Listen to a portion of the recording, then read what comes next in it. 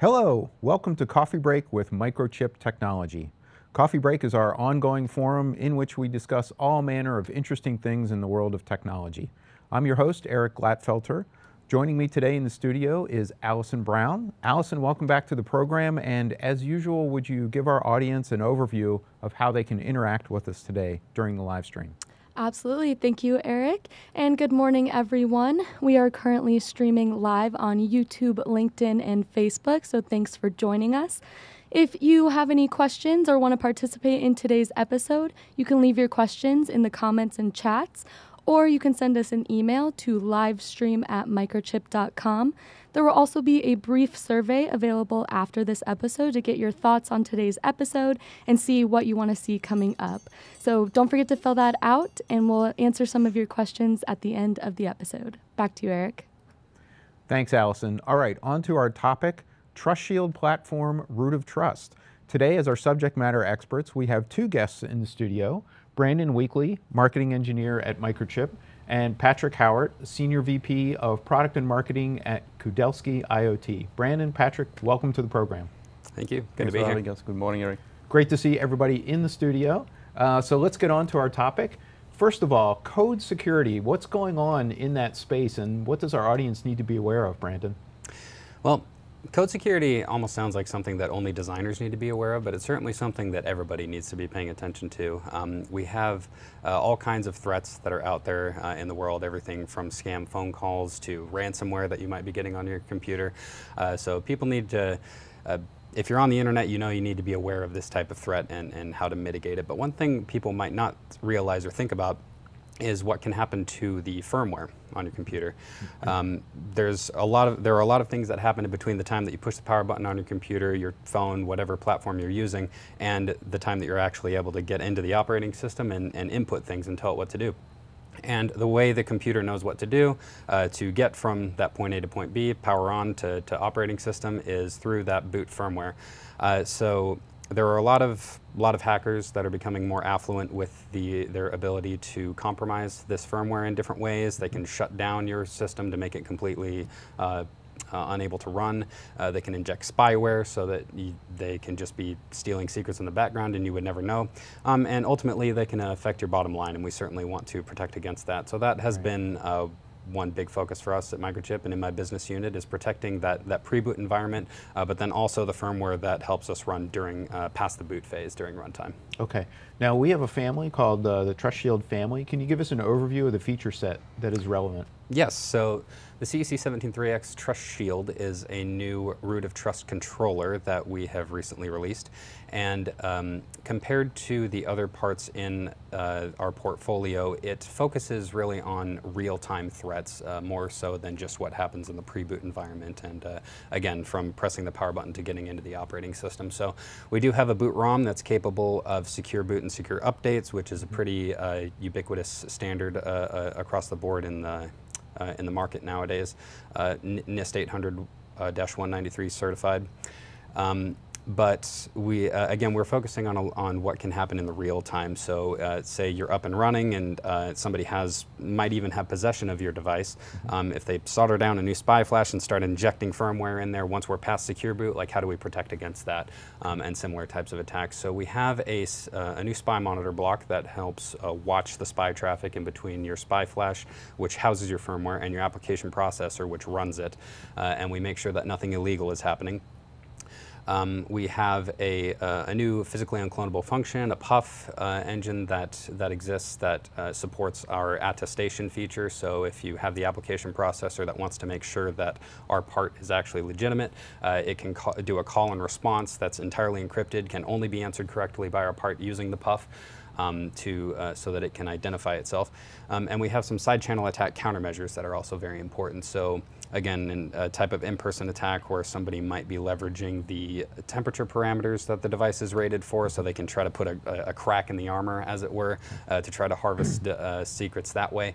Um, or um, uh, or they can do the same thing with, with the voltage, just try to over like overheat it with voltage and uh, try to try to pull some secrets out of it that way. So we have some countermeasures to protect against uh, against that type of thing as well. Okay, and uh, I guess next step would be, can you give us a, an, an, overview of what a root of trust subsystem might look like? How would that be implemented? Yeah, so here we have an example of a what we might see in a data center um, environment, that being one of our target markets.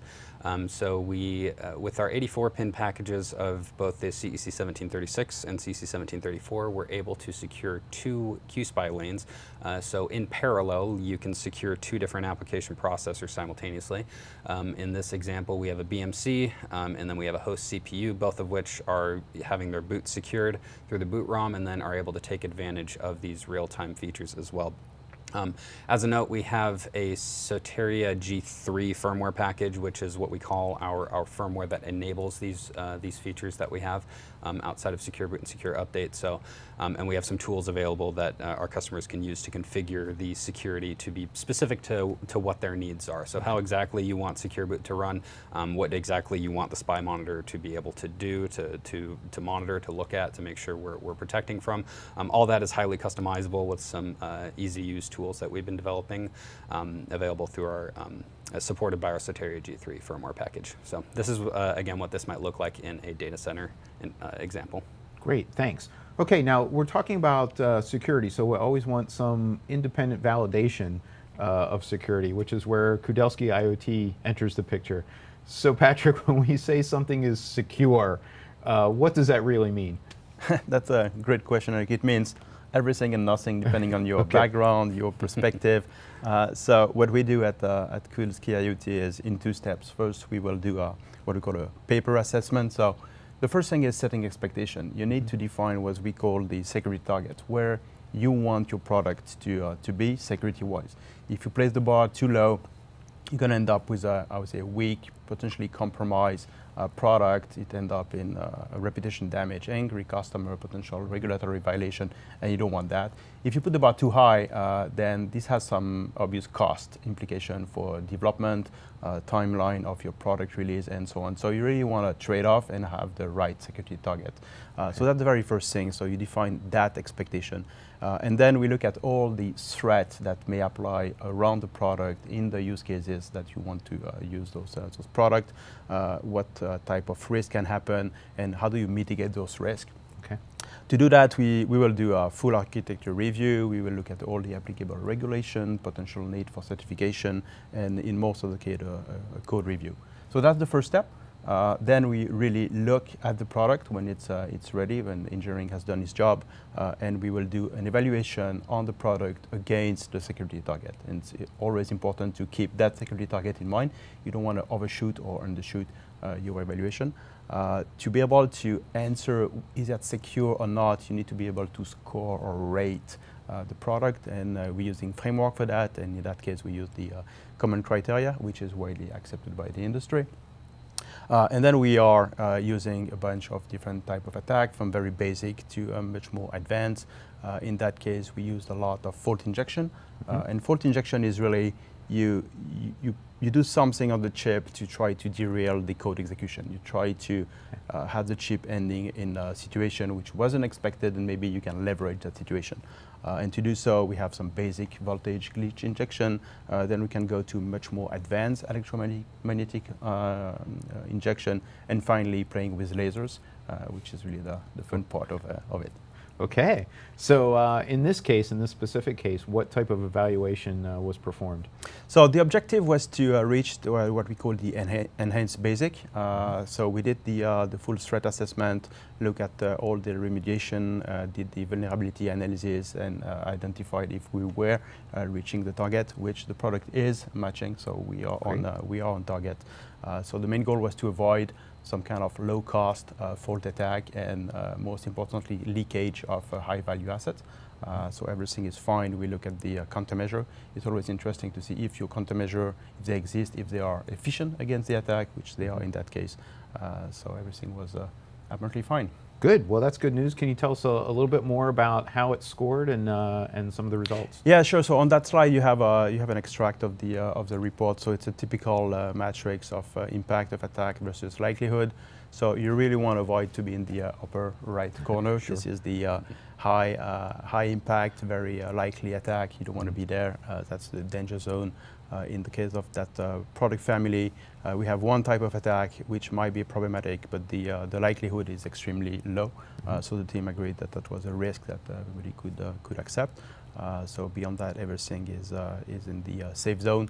Uh, so we did a lot of side channel analysis of the uh, cryptographic engine, both on hardware and, and the uh, boot ROM, and focused a bit on the electromagnetic fault injection.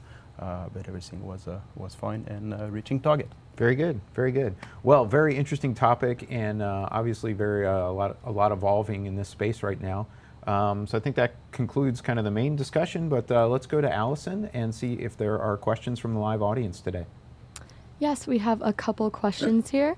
Let's go ahead and get started with this one, which is asking You showed a data center example. Is this solution meant for other markets as well? So short answer to that is yes. Uh, we do target other markets. Uh, data center is one of uh, represents some of our uh, most of the revenue, or not not most of, but a lot of the revenue in our in our business unit. So uh, so it is uh, an important example for us to show. But we do have other markets that we work with um, as as well, so, such as. Um, uh, telecoms and industrial. Uh, we're trying to work our way into uh, into automotive as well. So um, really, the only uh, the only requirement for the solution to work for you is that you have an external SPI flash that houses your boot firmware and then you're booting, booting onto an application processor. So rather than having an on processor uh, flash where your uh, code is living, um, if uh, it must be an external SPI flash, and if that's the case, then we're able to fit right in there and you can take advantage of the, uh, of the features. Great, thank you for that answer, Brandon. We'll move on to our next question here. This one is asking Do Kudelski's certifications apply to the end product or just this Trust Shield part? Yes, you can. Uh, what we did for uh, at the chip level, you can absolutely do exactly the same uh, process at the uh, I would say at the bigger system. Could be a, a device or an even a bigger end-to-end solution. So uh, we absolutely do uh, do this. Yes.